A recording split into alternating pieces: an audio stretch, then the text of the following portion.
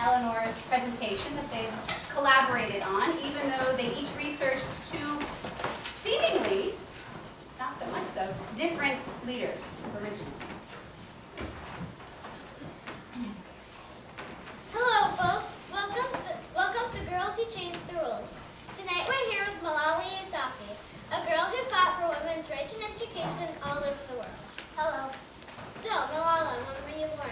I was born on July 12, 1997. Why did you want to help others with the problem of girls not being treated fairly? I wanted to help because girls were not treated fairly in Swat Valley.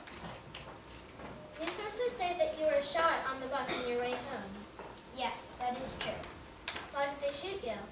I was shot for going to school and wanting an education. Also, I was telling the news about what was going on in Swat Valley. What made you go on after you were shot?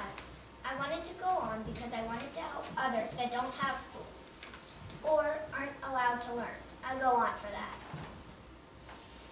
What do you think would happen if you were to see the Taliban men that shot you again? I wouldn't want war on them. I would want education for their children. What do you think would happen if the Taliban men saw you? I've thought about that for a while. I know that something will happen that won't be good. It's one thing to know they're out there and another to see them face to face. I mean, they tried to take away my life. They put power to the gun. I just know it won't be good. News sources also say that you won the Nobel Peace Prize. How did you feel to win the Nobel Peace Prize? Yes, I did win the Nobel Peace Prize. I was the youngest person to win at age 19. I felt very honored and overjoyed. It was so amazing. I've gone so far, and I won a Peace Prize. Thank you for the interview. Mm-hmm. And then we have a quick costume change. We're going way back in time.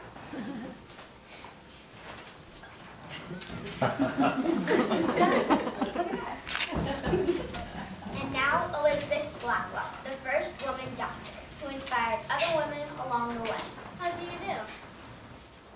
So, Elizabeth, when were you born? I was born on February 3rd, 1821. Who inspired you to become a doctor? A childhood friend who was sick told me she would feel more comfortable with a woman doctor for help. She felt embarrassed to ask a male doctor. She said that I should become a doctor, and that's exactly what I did. When did you become a doctor? I graduated in 1849 after two years of medical school.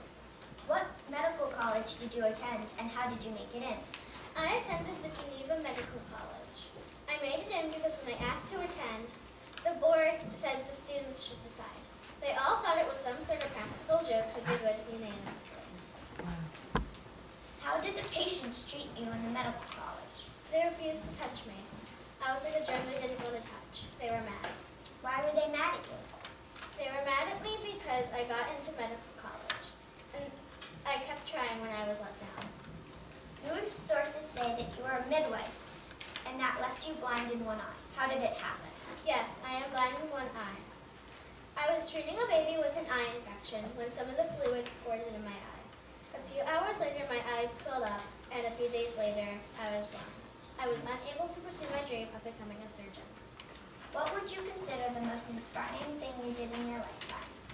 I must say, by opening a medical college, the New York Infirmary for Indigent Women and Children, with my sister Emily, also became a doctor, and physician Mary Thurskashki, a Polish woman who was a friend of mine. We helped pave the way for women so they can pursue their dreams of becoming a doctor.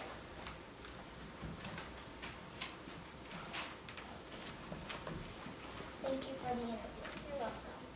And we have one more quick costume change.